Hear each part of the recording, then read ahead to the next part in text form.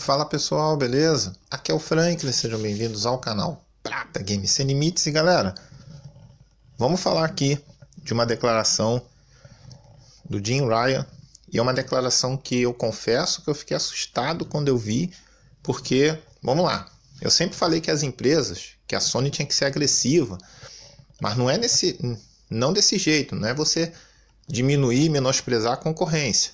É simplesmente você ser agressivo de parar com essa mania de ai, somos amiguinhos, nós amamos. Olha aí, ó, a compra da Activision Blizzard gerando uma briga e gerando essas declarações que sim, essas declarações foram vazadas, não, ele não veio a público falar isso e jamais ele vai falar que falou, mas vazaram, enfim, né? Então o que que acontece? São declarações que preocupam, cara, de uma Sony que pode voltar a ser arrogante e eu não gosto muito disso não. Vamos dar uma olhada aí na matéria. Nada um feliz Natal para todo mundo aí. Eu espero que tudo tenha corrido bem para todo mundo aí, todo mundo esteja com saúde, que se comeu bastante. Enfim, vamos lá. Olha só. Não vejo o Game Pass, o Xbox Game Pass como concorrente, pois a Sony vendeu mais PlayStation 5 em dois anos do que eles conseguiram com assinantes nos últimos anos. Isso foi dito pelo próprio Jim Ryan, CEO da Sony, Rapaz, é complicado. Parece que a situação está passando dos limites e, de acordo com as novas informações compartilhadas pelo Insider Game via Tom Henderson, esse cara aí, cara que vaza tudo. As informações do cara são certeiras. Jim Ryan, CEO da Sony, não vê o Xbox Game Pass como concorrente. Tá, olha só.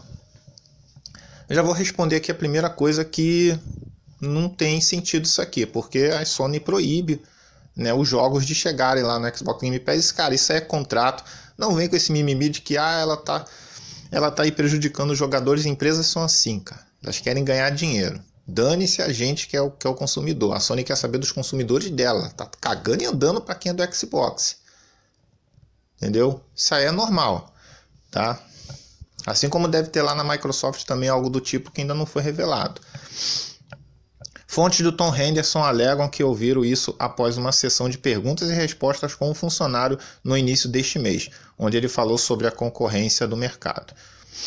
Né? Se fosse assim, ele não estaria preocupado dos jogos chegarem lá do COD, é, é, mesmo sendo multiplataforma, chegar ao Xbox Game Pass, querendo ou não, ia tirar uma parte do público da galera do PlayStation. Não que a galera ia vender o PlayStation, mas poderia comprar o Xbox, eles iam perder vendas.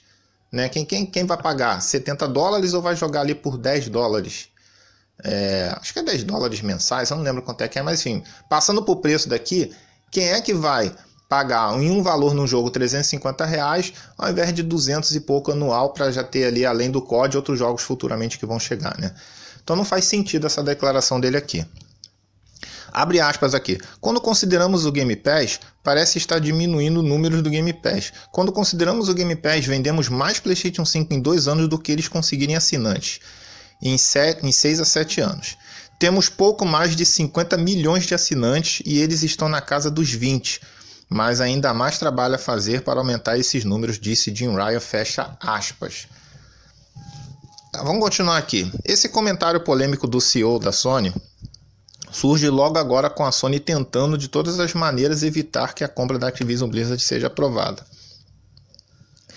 De qualquer maneira, tais informações fornecidas aqui são apenas rumores e nada disso foi confirmado e, cara, não vai ser, né? Não vai ser, convenhamos. Né? Esses vazamentos que acontecem, perguntas, é, entrevistas internas, não vaza. Assim, não, não serão, não é que não vaza, vazaram, mas não serão confirmadas pelo cara, né?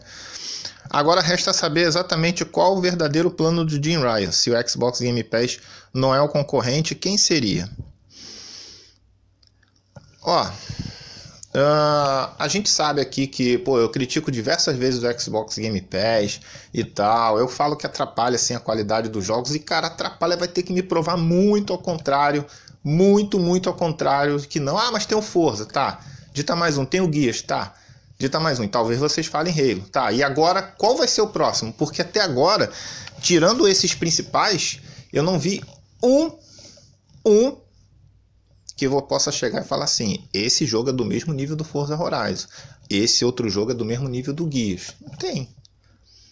Não tem. Você pode gostar, mas eu gostei mais do que do Gears. Aí é problema seu, gosto pessoal. Falo de aspectos técnicos, gráficos, entendeu? Essas paradas assim e tal.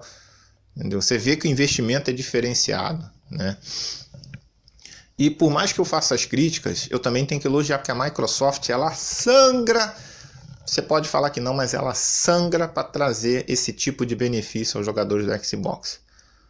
O que ela perde de vendas, o que ela perde de vendas para trazer um jogo do tamanho do, do Forza, do Halo, do Guias, que tem investimento grande, apesar do Halo estar tá aí cagadão, mas teve investimento gigante Fora os multiplataformas que ela deve fazer acordos milionários para trazer aqueles jogos Day One, porque a empresa vai falar assim: olha só, eu vou levar o jogo aí Day One para o seu serviço, mas eu vou perder vendas. Vocês vão me. Vocês vão, quanto que vocês vão me pagar para ter o meu jogo no, no Day One no seu serviço aí? A Microsoft tem que pagar, filho, não é de graça. Então ela sangra muito dinheiro, ela tem dinheiro aí, o cheat infinito praticamente, né? Então, assim, ela sangra por vocês do Xbox e também pela galera do PC, que também tem aí a, a, o benefício de usar o Game Pass, né? Então, querendo ou não, isso tem que ser muito elogiado, cara, pela Microsoft, o sacrifício que ela faz para trazer esses jogos para você, sejam jogos que estejam com as qualidades duvidosas ou não, mas ela atrai. Entendeu? Ela perde vendas pra caramba por causa disso. O Jim Ryan falando isso, soa como arrogante, cara. Soa como algo que preocupa. Essa arrogância que a Sony às vezes tem em algumas gerações. O que eu falei, você tem que ser agressivo sim, mas agressivo no sentido de trabalhar para ter mais seus jogos, entendeu? Fazer investimentos. Você não tem como fazer o investimento que a Microsoft faz, faça em estúdios menores. A, a médio, longo prazo, você vai ter os resultados. E a Sony conquistou esses resultados com o passar de anos, décadas entendeu? Então, assim, é, é, esse tipo de declaração aqui, cara, é no mínimo com uma arrogância muito grande. E eu espero que isso aqui, cara, não se repita. Eu não gosto do Jim Ryan, tá? Diga-se de passagem. É um cara aí que eu não sou fã. Ele, eu gostei quando ele fez aquela declaração, pegou o Phil Spencer na mentira, dura, dura mesmo, né? Foi lá e desmascarou o cara. Não, você tá mentindo. Deu aquele supapo brutal na cara do maluco, né? Só que assim, tem que ser agressivo nesse tipo de, de, de situação. E não desdenhar de um serviço que, querendo ou não, cara, para muitos, para mim não é, mas para muitos, é o melhor serviço que tem no mercado. Principalmente por trazer os jogos da Microsoft Day One. É isso que a galera fala que, né, que é o grande diferencial. Como se eu tivesse vontade de jogar todos os jogos da, da, da Sony no lançamento. Porque nem é todos. Esse ano foi uma exceção, cara. Porque só teve coisa grande realmente. Você acha que eu compraria Gravity Rush no lançamento? Ou eu jogaria no lançamento? Se saísse na Plus? Não, cara. Entendeu? Então, assim, é, eu espero que eu, essa. Eu vou tratar isso como algo verdadeiro, tá? Apesar de não, ele não vai confirmar que isso é verdade. Mas eu, eu espero que isso aqui não, se repita e não se. Tipo assim, que não contamine as, os outros funcionários, os outros cabeça grande da Sony, cara. A gente sabe que no passado a Sony se perdeu com uma arrogância muito grande. Né? Quem lembra daquele episódio de ah, se você quiser ter um PlayStation 3, que você tenha mais um emprego, que você trabalhe em dois lugares, entendeu? E não é assim, cara, que as coisas funcionam. Né? Então eu espero que eles mudem nesse quesito aí, cara, entendeu? Porque ficou preocupante isso aí, velho. Virou algo que hum, eu, eu sinceramente não gostei. Que, que vocês acharam dessa declaração do Jim Ryan? pegou pesado, para vocês tem que ser assim mesmo, tem que desdenhar do serviço do, da concorrente, tem que esculachar? Comenta embaixo no vídeo aí. Eu tenho a minha opinião que eu acabei de dar. Né? Não sei aí, vai ter uma galera mais inflamada, que eu sei que vai concordar. Mas assim, é, o Game Pass, dando uma opinião, que eu, eu não, não dei essa opinião ainda, né?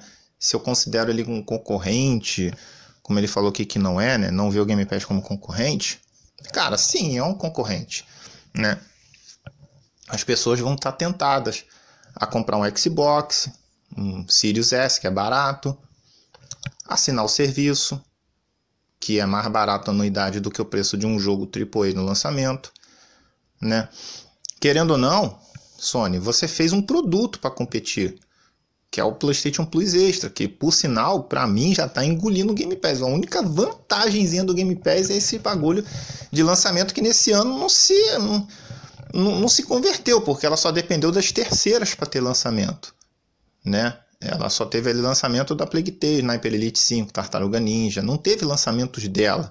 Teve ali uns bem meia boca, Pentiment, como é, é o nome do outro? Tem o Scorn, tem uns jogos aí, uma meia dúzia de, de jogo doido, mas não teve nenhum first party dela. Então, isso aí realmente, a Plus realmente, na minha opinião, engoliu o Xbox Game Pass.